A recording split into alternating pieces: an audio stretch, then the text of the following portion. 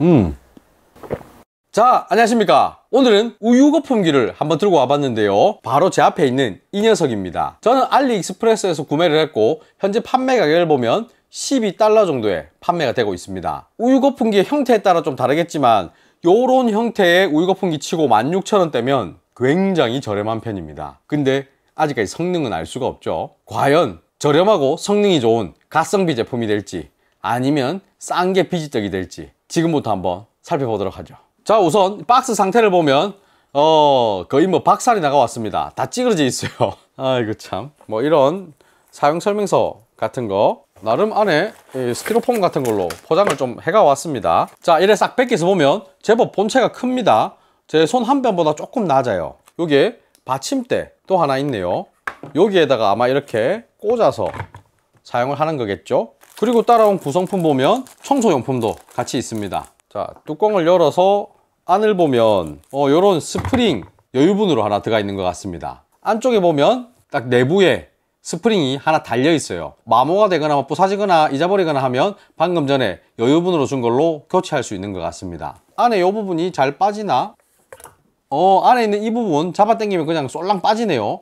청소하기에는 뭐 그렇게 어렵지 않은 것 같습니다 다만 이런 애들의 특징은 이 밑에가 전기가 들어가죠. 그렇기 때문에 이 밑에는 물이 닿으면 안 될 겁니다. 그러니까 세척을 할 때 안에만 잘 씻어줘야 고장이 안 날 거예요. 그리고 작동은 이 옆에 버튼을 눌러서 하는 것 같습니다. 이거 좀 이따가 한번 켜보도록 할게요. 밑에 받침대는 뭐 아무것도 없습니다. 그냥 플라스틱이에요.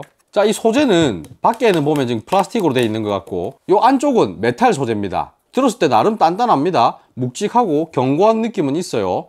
영 싸구려 같은 그런 느낌은 안 듭니다. 또 엄청 고급스럽지도 않아요. 그냥저냥 나쁘지 않다.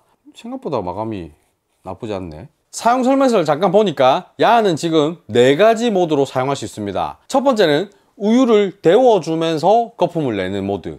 그러니까 얘는 히터가 있어 가지고 우유를 데워주는 역할을 할 수 있는 겁니다. 두 번째 모드. 그냥 우유를 데워주기만 합니다 거품을 내지는 않는다고 해요. 세 번째 그냥 거품만 냅니다. 그러니까 이미 데워진 우유를 넣든지 혹은 차가운 우유로 거품을 내든지 뭐 그런 용도. 네 번째도 우유를 데우면서 거품을 내는 용도인데 첫 번째보다 온도가 좀 더 높아진다고 합니다. 한 70도까지는 올라간다고 해요. 그러니까 만몇천 원짜리 답지 않게 굉장히 다양한 기능이 있습니다. 뭐 제대로 될지는 모르겠는데 나름 신통방통한 녀석이에요. 지금부터 한번 사용해 볼게요 자 우선 방금 전에 콘센트 연결을 했거든요. 전원 버튼 한번 눌러보면 첫 번째가 깜빡깜빡합니다. 그리고 작동을 시작해요. 공회전 시에는 소음이 그렇게 크지 않습니다. 한 번 더 눌리면 꺼져요. 다시 한번. 깜빡깜빡 할 때 한 번 더 눌리면 두 번째 모드 세 번째 모드. 아이고. 이렇게 조금 늦게 눌리면 바로 시작을 해버립니다. 다시 해볼게요. 첫 번째 두 번째 세 번째 네 번째 모드 그러니까 딱딱딱딱 눌러서 내가 원하는 모드로 딱 갖다 놓고 놔둬버리면 스타트. 이렇습니다. 자 그리고 안에도 한번 보여드려 볼게요. 첫 번째 모드로 돌리면 이렇게 돌아갑니다. 오 지금 약간 열기가 올라옵니다. 자 그리고 이 안에 보면 선이 꺼져 있거든요.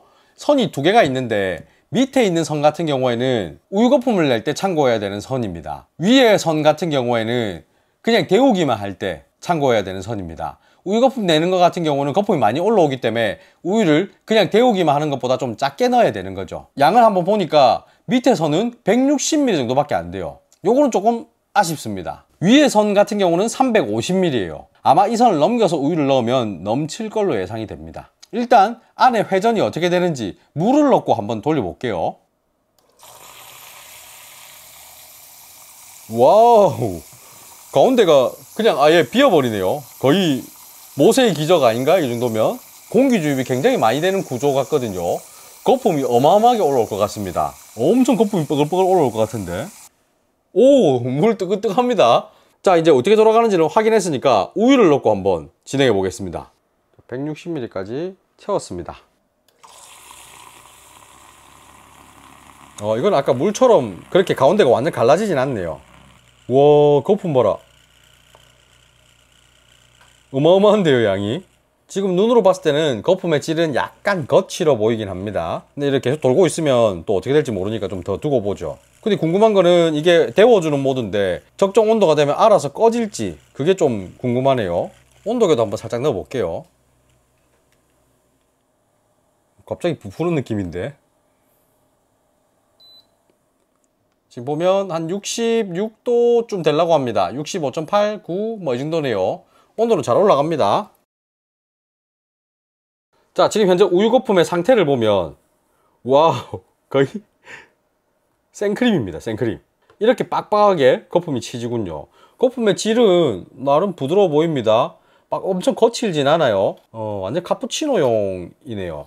이걸로 라떼아트를 하기에는 쉽지는 않겠다. 이 거품으로 저는 라떼아트를 한번 도전해 보고 싶거든요. 근데 이 거품이 지금 너무 빡빡하기 때문에 약간 숟가락으로 젖어 가지고 거품을 좀 더 부드럽게 해줘볼게요. 왔다 갔다 몇 번 하면 원래 거품이 좀 죽거든요. 왔다 갔다 몇 번 해볼게요. 자, 지금 요 피처에 넣고 흔들어도 약간 빡빡한 느낌은 있거든요. 뭐 될란가 모르겠는데 일단 한번 도전을 해보겠습니다. 아이고 뜨거워라. 아이고 아이고 떡이 진다. 아이고 아이고 떡이 지 가지고 예, 라떼아트가 제가 원하는 대로 딱 나오진 않네요. 옆에서 거품 두께를 봐도 지금 거품 두께가 어마어마합니다. 한번 걷어서 보면 거의 이 정도의 거품이 위에 쌓여 있어요. 사실 라떼아트 하기에는 적합하지 않은 거품 두께다. 맛이야 뭐 맛있습니다. 이걸 먹으면 지금 드는 생각은 그냥 집에서 이렇게 거품 풍성한 카푸치노 스타일로 먹고 싶다 하면 괜찮네? 근데 라떼아트를 한 번 더 도전해보고 싶은 생각은 저는 또 들거든요. 아까 전에 삐삐 울면서 자동으로 꺼질 때까지 계속 돌렸는데 그보다 좀 더 빨리 끄면 어떨까? 그러면 덜 도니까 거품이 좀 덜 나겠죠? 온도도 좀 더 낮을 겁니다. 그렇게도 한번 도전해 볼게요. 요번에는 이렇게 제가 지켜보다가 됐다 싶으면 끌 겁니다. 이 정도면 된 것 같은데요. 제 생각에는.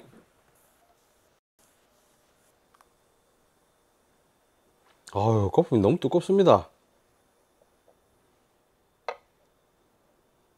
아유, 안 되겠다, 안 되겠다. 거품 두께 보면 여전히 굉장히 두껍죠. 어, 거품을 좀 작게 한다고 여러 가지 방법을 써봤지만 라떼아트를 하기에는 적합하지 않은 것 같습니다. 라떼아트는 이거보다 좀 더 거품이 얇고 굉장히 부드러워야 돼요. 근데 얘는 거품이 좀 두껍고 빵빵한 스타일입니다. 이런 라떼아트를 하기에는 사실 적합하지 않은 거품 같아요. 말 나온 김에 드라이 카푸치노는 어떻게 나오는지 그것도 한번 해볼게요. 방금 또 거품을 다 냈습니다. 이번에는 드라이 카푸치노 스타일로 한번 부어볼게요. 살짝 숟가락으로 거품을 막고 부어주면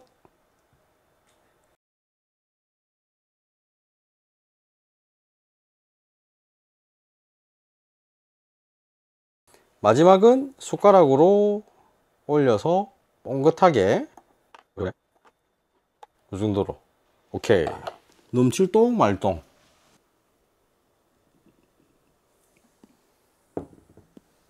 음 진짜 질감이 크림 같다 크림. 생크림 같아요 생크림. 그냥 이거 풍기는 라떼아트 한다고 뭐 까불 게 아니고 그냥 이 상태로 드라이 카푸치노 스타일로 즐기면 될 것 같아요. 이게 맛있네.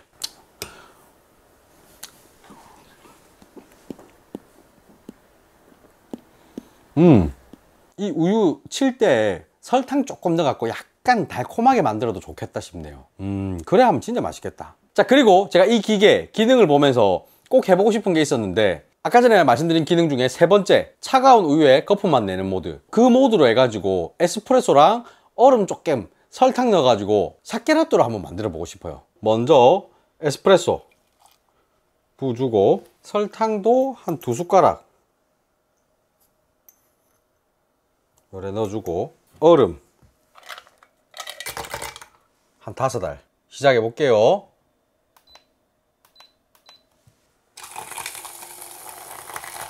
아이고 이거 때깔이 덮어야 되겠다. 잠깐만 요래 덮어 놓을게요. 얼음이 끼있다. 음, 얼음이 계속 끼이네요.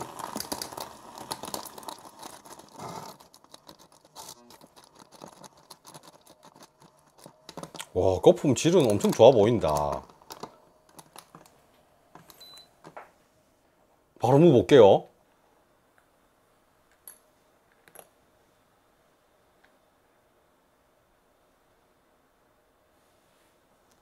와 이거는 샤케라또가 이거 거의 커피 크림이 됐빛네요. 장난 아닌데. 이 거품부터 한번 떠먹어볼게요. 음 진하네. 음 맛있네. 이 거품이 폭신폭신하게 있으니까 입술에 닿는 느낌이 좋네요. 음. 자, 오늘 사용한 우유 거품기. 저는 생각보다 괜찮은 것 같아요. 사실 브랜드 있는 제품들 보면은 10만원대 넘어가는 애들이 수두룩하거든요. 근데 얘는 16,000원 정도죠. 오, 가격 대비 성능으로 생각하면 이거는 가성비가 좋다라고 저는 느껴집니다. 다만 걱정되는 거는 저도 이거 오늘 처음 써본 거기 때문에 내구성이 어느 정도 되는지는 모르겠습니다. 근데 뭐 반년만 버텨줘도 저는 충분히 16,000원치의 값을 했다라고 생각하기 때문에 어, 크게 지금 불만은 없습니다. 예전에 제가 소개시켜드린 우유 거품기 중에 나노 포머 프로라는 게 있었습니다. 걔 같은 경우도 이렇게 우유를 데워주기도 하고 우유 거품을 만들어주기도 했는데요. 걔는 라떼아트가 충분히 가능한 우유 거품을 만들어줬습니다. 다만 이 친구는 그게 안 돼요. 뭐 저도 오늘 처음 써봐서 잘 못하는 걸 수도 있겠지만 지금까지로 봤을 때는 라떼아트가 가능한 우유 거품을 만들기는 쉽지 않을 것 같습니다. 푹신푹신하고 풍성한 우유 거품을 만들기에는 적합한 기계 같아요. 그리고 16,000원짜리 치고는 우유 온도를 데워주는 그 기능도 가지고 있죠. 그러니까 오, 생각보다 괜찮아요. 자 그러면 즐거운 홈카페 하시길 바라면서 오늘 영상 여기서 마치겠습니다. 바이바이.